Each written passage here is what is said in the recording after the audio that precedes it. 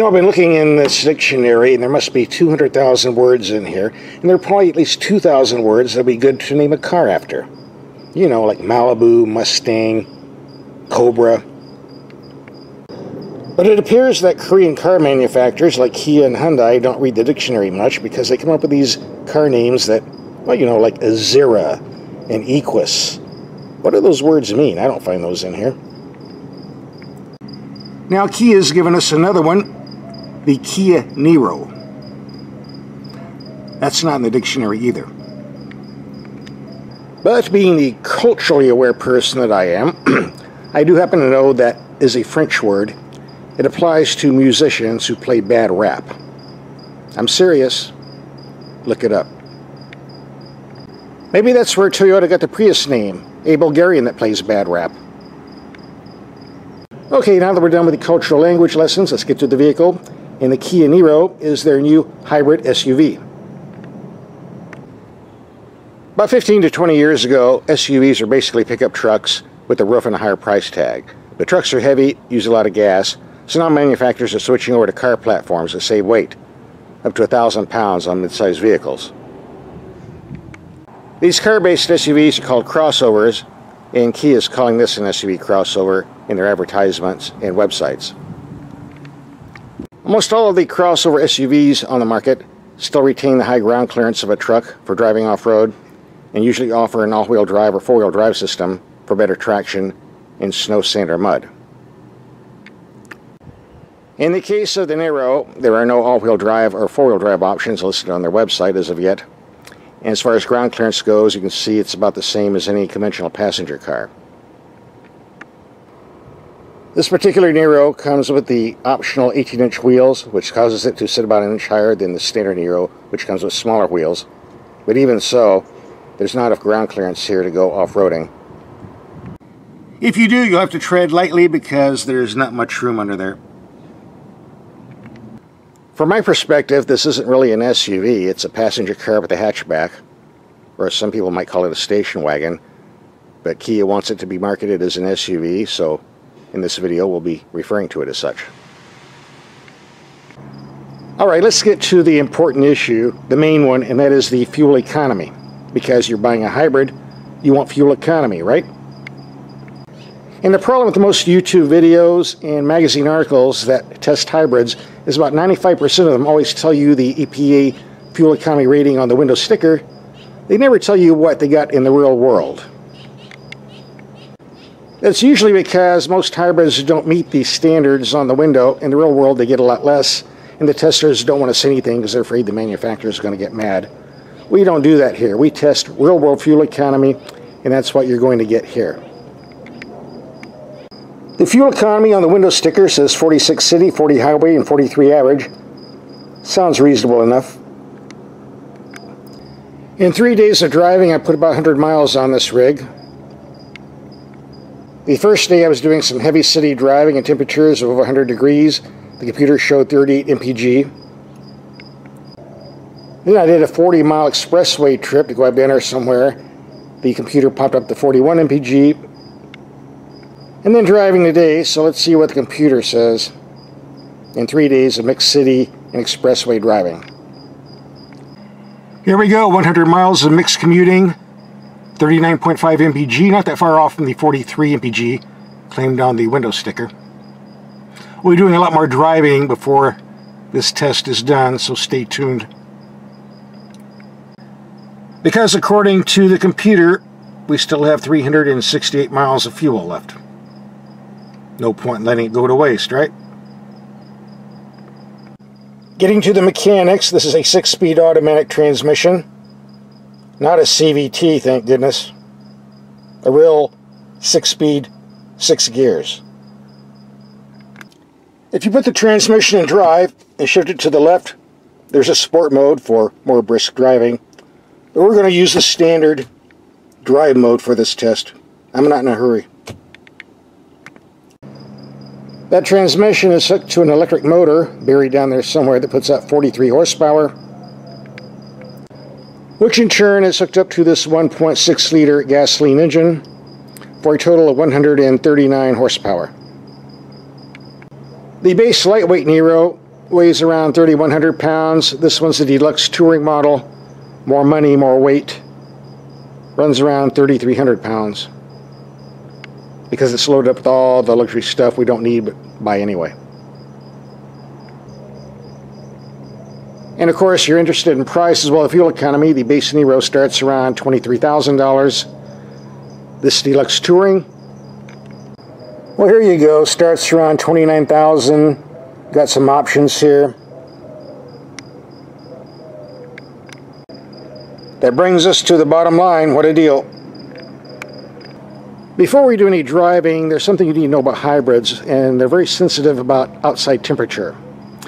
For example, I've driven tons and tons of Priuses and Honda hybrids, and in mild weather, say 60 to 85 degrees, was averaging around 40 to 41 mpg, which is about what other people were getting.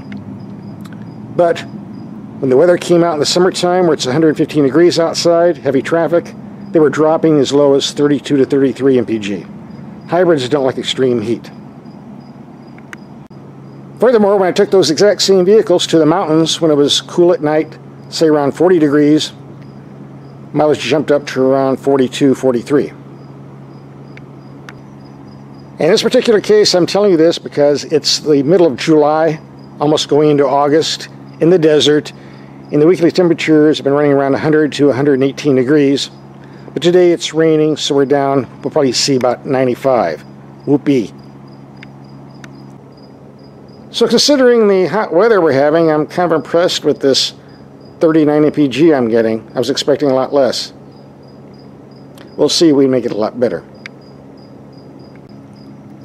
For those of you who watch my videos, and those of you who don't, the first thing we always do when we get a vehicle is take the headlights out in the dark, see how they perform. So let's get this on the road, and we'll do that right now. I think it's dark enough, so let's uh, try these headlights out. See what happens.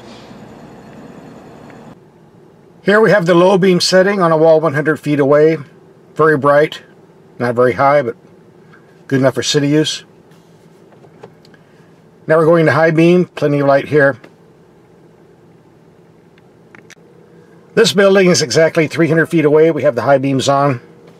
Lights up very well. No complaints here. Go to low beam.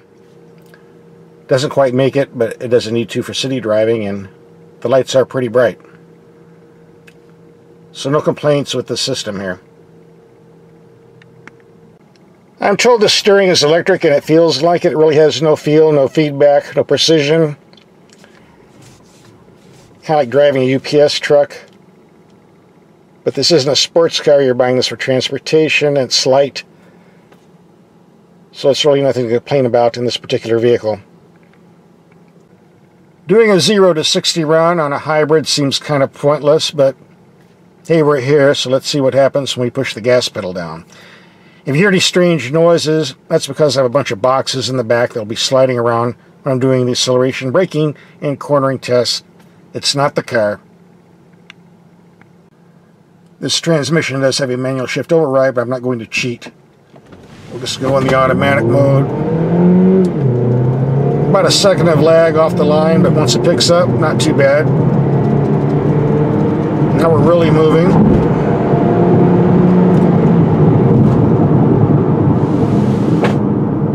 Not too bad. The brakes are firm enough.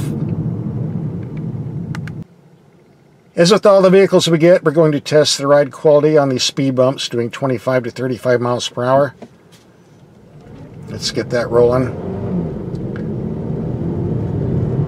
Here comes bump number one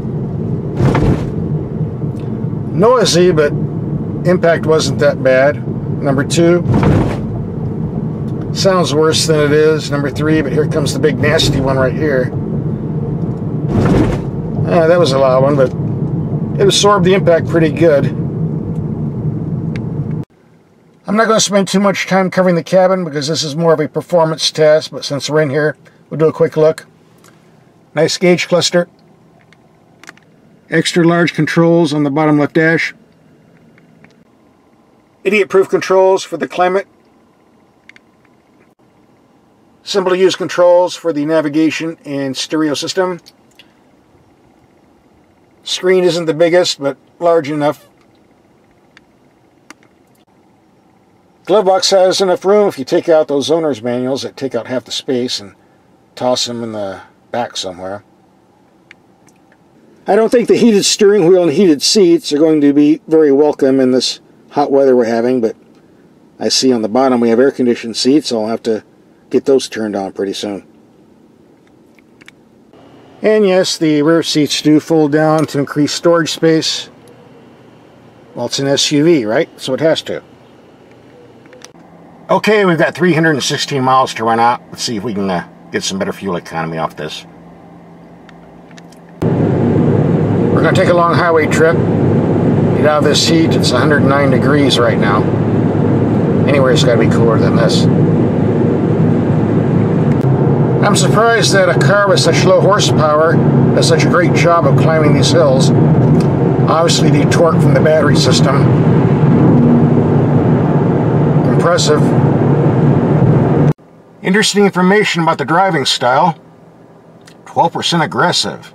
My, my. Just a note, Hybrid cars work better in city traffic or mixed driving because the battery system can assist the engine in those environments. On the highway, the hybrid system pretty much shuts down unless you're passing or climbing. I doubt very seriously we're going to get anywhere near 40 mpg. I'm thinking more around 35, 36, but we'll see. I don't mind the free wash job, but these 40 mile per hour winds are something else. Amazingly, the car is not being pushed all over the road.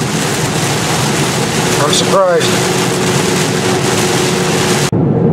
We're wrapping up our 200 mile highway trip. Average fuel economy just under 36 mpg, around 4 mpg less than what's on the window sticker. Not bad considering. There's some interesting information on this price sticker you might want to know about if you're a potential buyer. First of all, this is a genuine Korea car made in Korea not in some third world country, which explains the excellent quality control. 95% to be exact. Number two, not only do you get a 10-year, 100,000 mile warranty on the engine, you get a 10-year, 100,000 mile on the hybrid system, the electric motor and the battery.